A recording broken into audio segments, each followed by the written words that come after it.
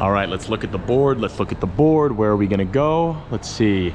Zalaegerszeg, that one's leaving, already left, too late. Let's just go with the first one that's gonna leave. Ah, okay. Székesfehérvár, a fantastically named place that used to be the seat of kings. Why not? Let's do it. 1110. Teesperts, no watch. What can you do? Fairly empty on here today. Let's take a seat and we shall get going.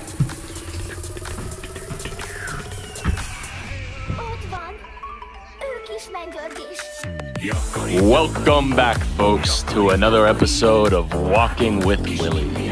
Sit back, relax, stay for a bit, stay for a while, stay for the whole damn thing. Whatever you do, have a good time. I'll have you know I've actually been to Székesfehérvár twice before. Both times to go to one of the best bathhouses in all of Hungary, the Árpád Fürdő. Unfortunately closed right now. Oh wow, look at this. Panama Shirazu. Haha, Uishten. That's a nice little Shirazu.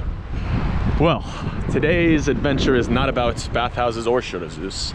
It is about the Battle of Mohács, which has absolutely nothing to do with Székesfehérvár, to tell you the truth. Now, if you'll remember from last episode, we left off with the brutal execution of Dózsa György.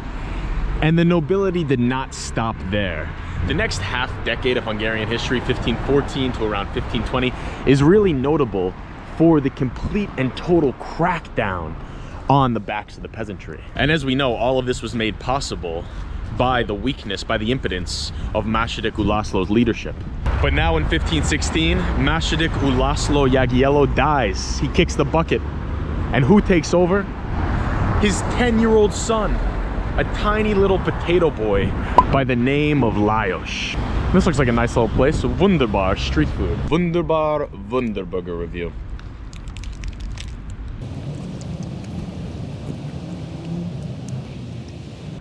Igazából nagyon finom. Jó hely. Talán 8.2. Now, Potato Louis, he's the second Louis to be the Hungarian king. The first Louis, Nagy Lajos, was one of the best kings that Hungary ever had. Tough act to follow, particularly for a 10-year-old. And I'm not emphasizing Lajos, I'm not emphasizing his age so much to absolve him of any responsibility going forward. I just want to point out that the king of Hungary right now is 10 years old. But he's not the only young ruler in Europe. In fact, this decade between 1510 and 1520 is a transformative time for leadership amongst many of the great powers in the European sphere. Francis I of France. He comes into power 1515, 21 years old. 1516, our buddy Lajos, 10 years old. 1520, Emperor Charles V of Austria. He takes over leadership of the Holy Roman Empire. And also in 1520, a man who would one day come to be known as Suleiman El Magnifico. Suleiman the Magnificent. You may know him as Naj Suleiman. He takes control of the Ottoman Empire. And onwards we shall walk. Some nice yellows in Székesfehérvár. They did not save them all for Budapest. Look at this tree.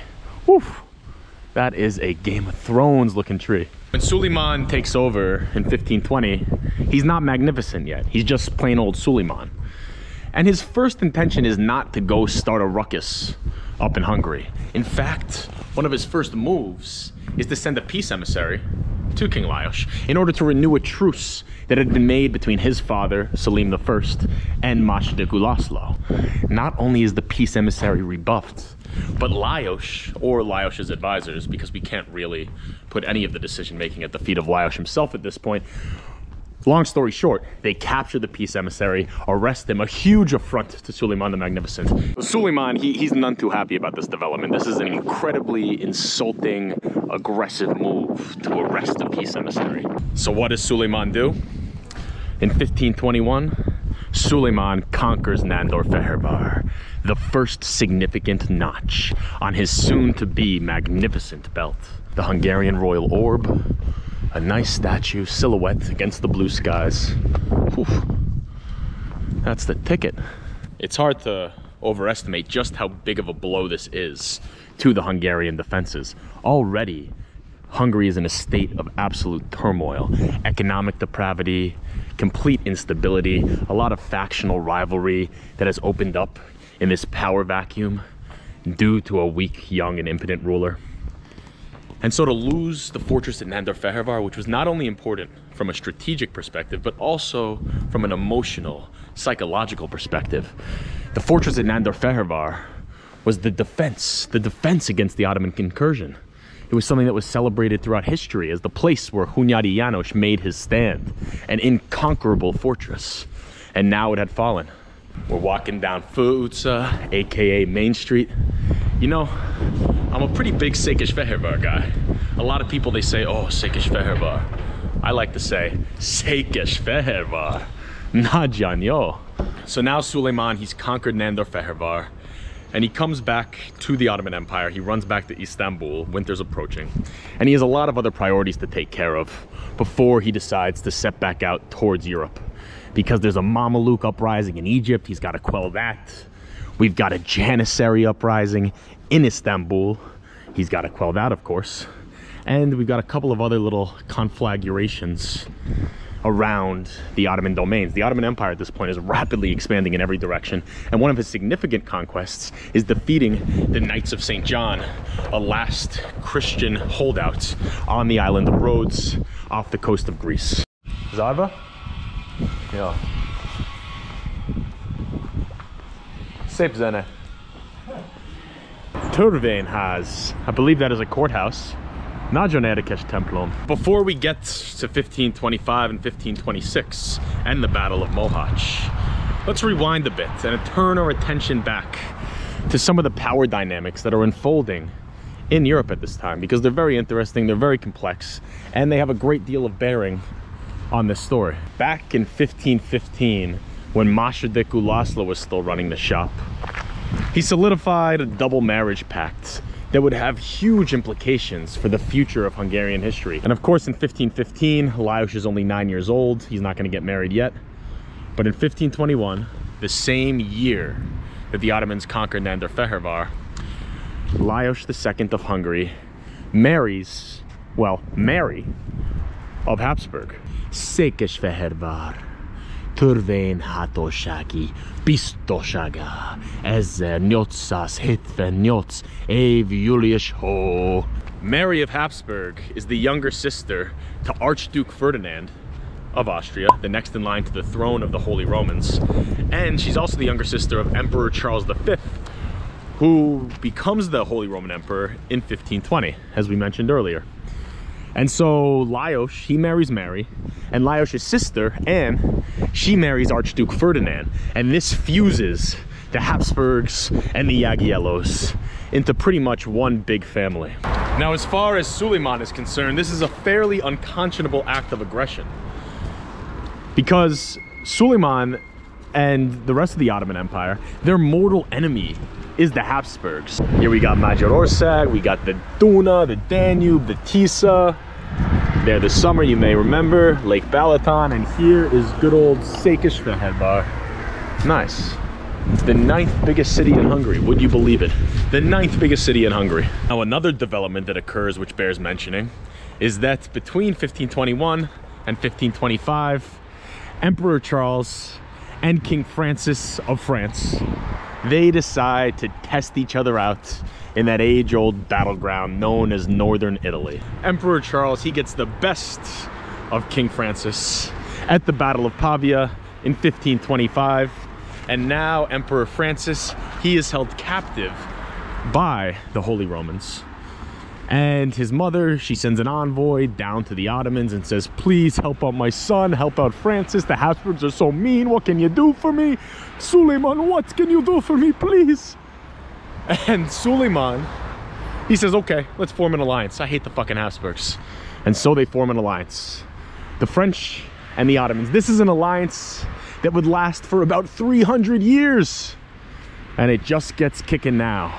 And the French, they say, Suleiman, go get revenge against the Habsburgs for us, please. Oh, I think we might have some stinky water over there. Stinkier and tastier than you ever could have hoped for. That's gonna be an 8.3 for me. Nils Pontarum. Look at these Székesfehérvárian kachak. Yeniru Sekish Fehervari and Kachak. So let's recap here. Suleiman, he's exposed the soft pink underbelly of the Carpathian Basin by conquering Fehervar. The Hungarians and the Habsburgs have formed an alliance via double marriages. And now Suleiman has a raison d'etre due to his alliance with the French and King Francis. So there's basically a three-pronged reason to go attack Europe once more. And as 1525 reaches its end and turns to 1526, Suleiman is galvanizing the troops, consolidating his base of power, and getting ready to strike back out towards the Hungarian heartland, towards Magyarország. A very just ugly structure. I mean, I like it. I don't think many other people will. I like it because of the historical trends which it exposes. And it's fascinating, it's unusual, it's unique. But I'm really glad they don't make buildings like this anymore. I mean, what was going on in the communist era? It's like the opposite of taking drugs or just taking the wrong kind. Now, before we get to the battle itself, I think it's important just to elaborate a little bit on just how unprepared Hungary is at this moment for military action, for defense of its borders, and for a major conflict. You may remember a man by the name of Szapolyai János from our last episode about Dózsa György. And Szapolyai János he's seen as a real Hungarian leader.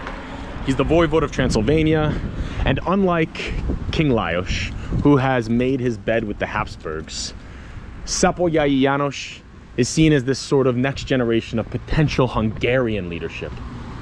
Instead of relying on the Jagiellos and leaders from elsewhere, a lot of the Hungarian barons and nobility, they want a leader that is actually Hungarian. But this just shows you that as Suleiman is getting ready to launch his attack, we do not have a cohesive Hungarian state.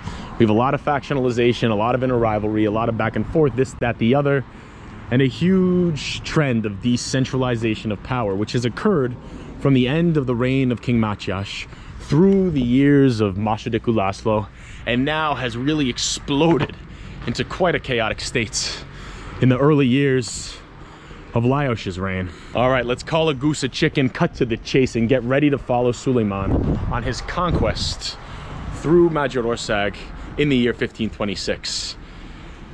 And as spring approaches, Suleiman is galvanizing his troops and getting ready to launch the attack. His commander-in-chief is one of his most trusted advisors, a man by the name of Ibrahim Pasha. And about 70,000 troops roll out of town, roll out of Istanbul, making incredible haste in the direction of Magyarország. Look at how gracefully the light dances off of this salmon edifice. Okay, Hardo, Hardo coming through. Everybody back up. We've got a Hardo. We've got a live Hardo. Oh, maybe a little bit of a potato. Who knew? Who knew?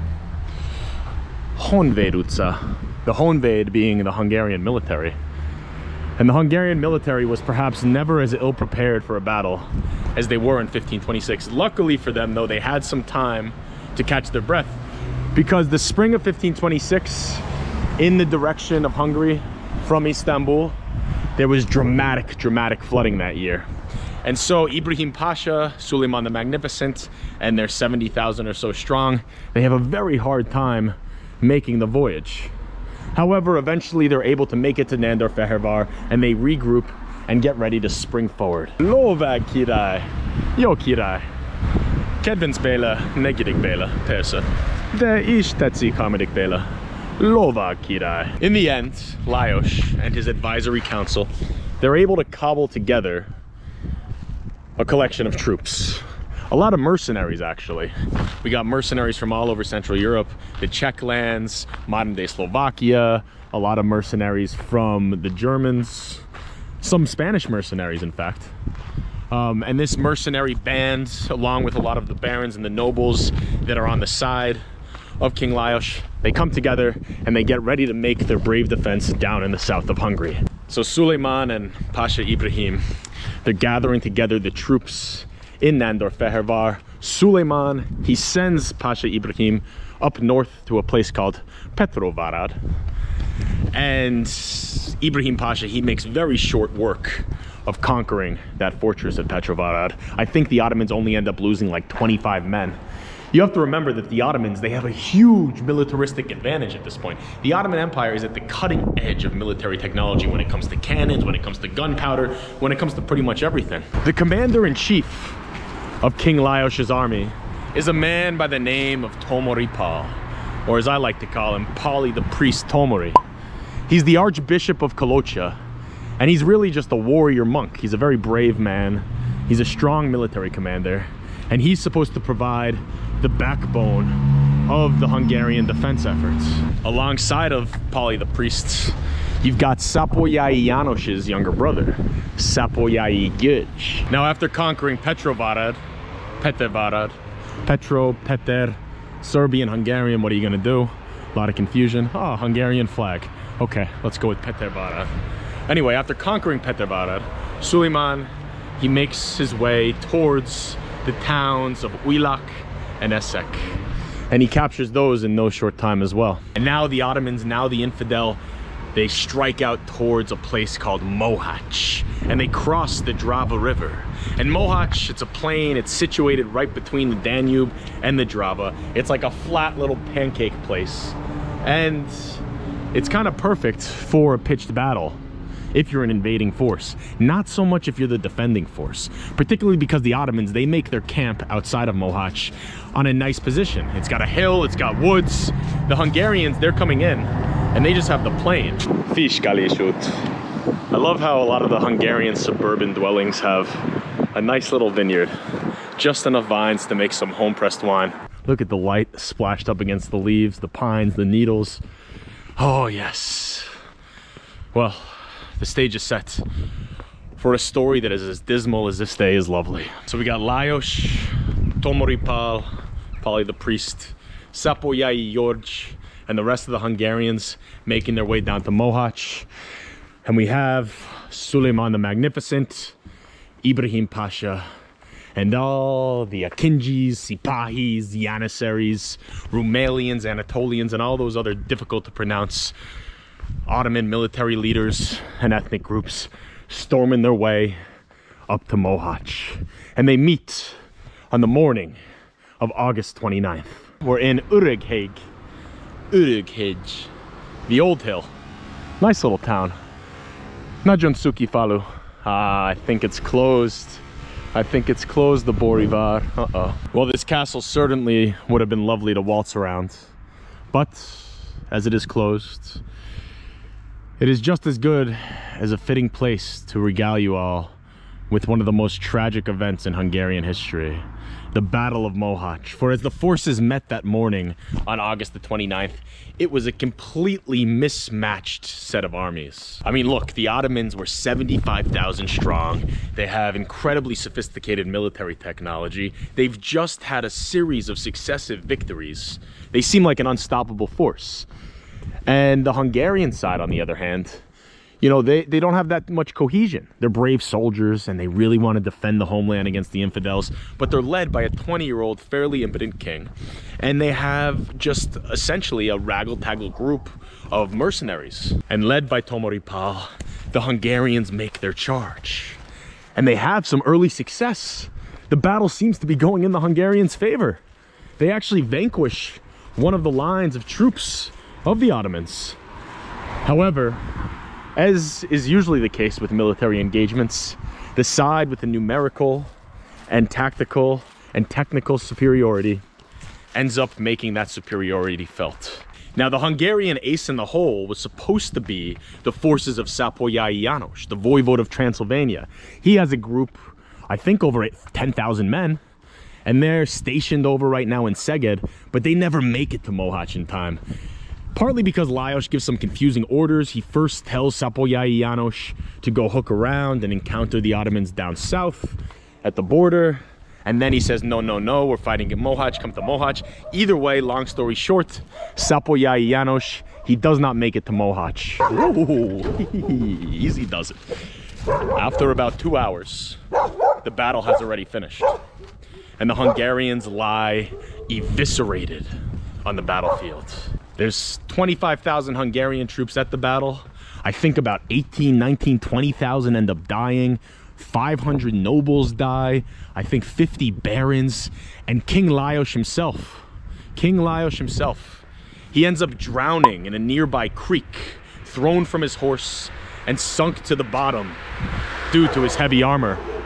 And the 20 year old king who had led Hungary for 10 years into this disaster at Mohacs is now dead. Now Suleiman, he knows this isn't all the Hungarians. And he's still waiting for these further armies of Szápolyai János, for example, to come with reinforcements.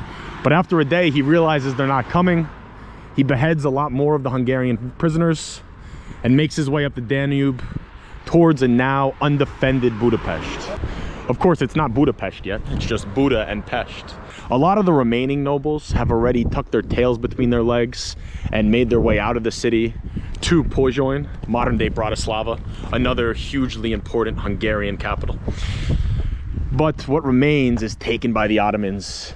They wreck Budapest, they leave it in ruins, they burn it down, and they make their way back down the Danube towards Istanbul with a huge, hefty smorgasbord of plunder. Szápolyai János, she's waiting down in Szeged, and he probably could have engaged the Ottomans. It might have been a disastrous decision, but he probably could have made some sort of defense against them. But he decides to play it safe because Szápolyai János, she already has his eyes set on what's going to happen next. Remember, the Habsburgs secured their own line of succession to the Hungarian throne with this double marriage alliance. Okay, okay. I don't like the Habsburgs either. I don't like the Habsburgs either. So the Archduke Ferdinand, Emperor Charles's younger brother, who's of course married to the now dead Lajos's sister Anne, he wants the throne. It was supposed to be his, according to the Jagiello marriage contract. But of course, Szápolyai János has different ideas about that. He's a Hungarian king, and he thinks he deserves the throne.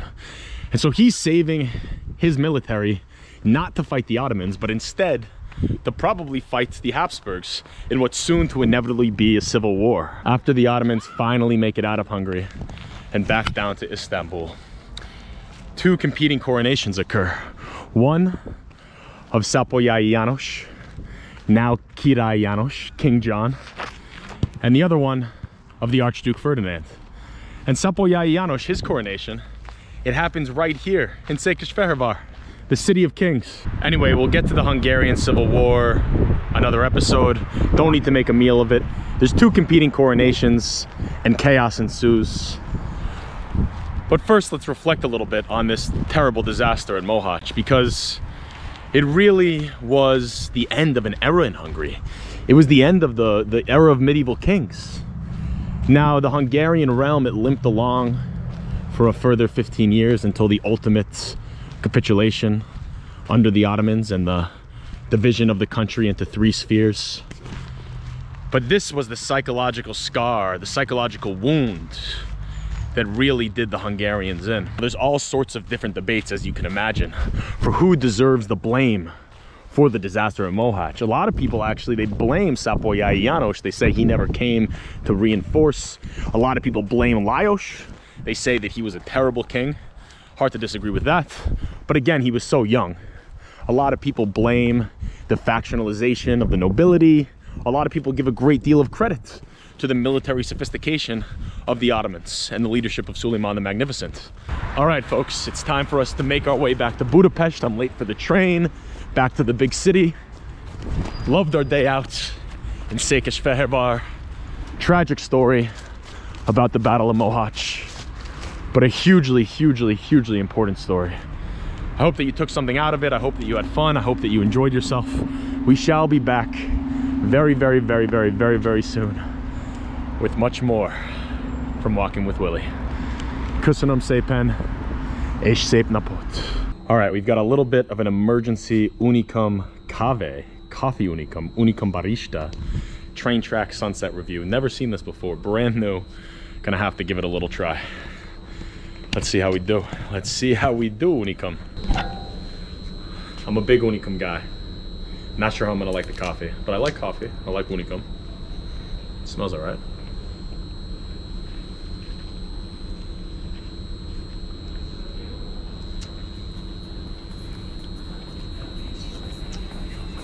Weird. Not bad. Kind of good.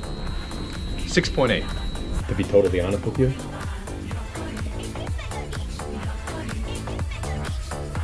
actually kind of love it.